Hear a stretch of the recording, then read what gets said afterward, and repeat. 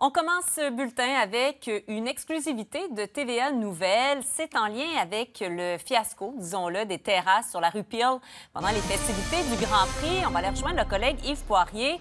Yves, vous avez appris que les deux employés cadres du service des incendies qui étaient visés par l'enquête ne seront pas congédiés ni suspendus finalement. Effectivement, Marianne, c'est ce qu'on apprend en dernière heure. D'ailleurs, je vous parle en après-midi sur la rue Peel.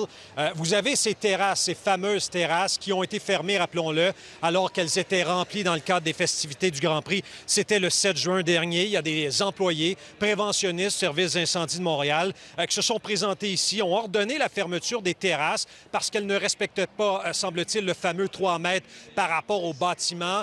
la Ville de Montréal, service d'incendie, ont été plongés dans la controverse. Il y a eu cette enquête administrative, Marianne, qui a été déclenchée. On sait que les deux employés cadres visés par l'enquête administrative avaient été relevés de leurs fonctions avec solde. Mais au terme de l'enquête, ce que TVA Nouvelle apprend auprès de sources sûres, c'est, comme vous l'avez dit, pas de congédiement, pas de suspension. Leur sanction, Marianne, on parle ici d'un avis écrit qu'ils ont reçu. Ça, c'est la sanction.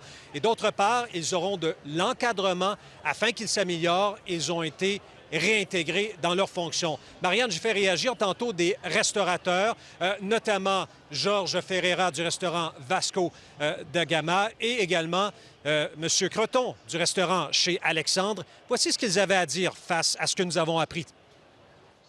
On n'est pas trop surpris parce que à Montréal, c'est un peu comme ça.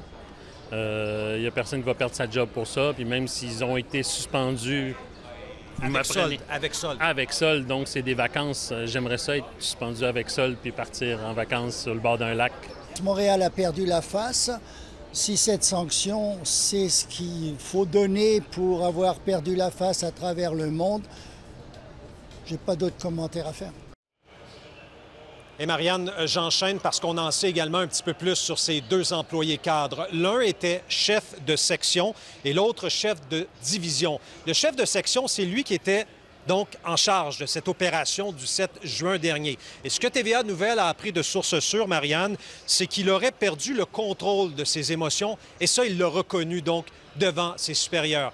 Quant à l'autre employé, l'autre employé, lui, était en charge des inspections qui ont été faites en amont des festivités du Grand Prix, parce qu'on a inspecté ces terrasses quelques jours avant les festivités du Grand Prix, mais on lui reproche surtout de ne pas avoir assuré adéquatement un suivi dans cette affaire. Et je conclue en vous disant qu'au mois d'août, il y aura une importante rencontre justement entre ces commerçants-restaurateurs, le service des incendies, afin d'avoir de belles festivités à l'été 2025. Alors voilà pour ces informations de dernière heure, Marianne. Merci beaucoup, Yves.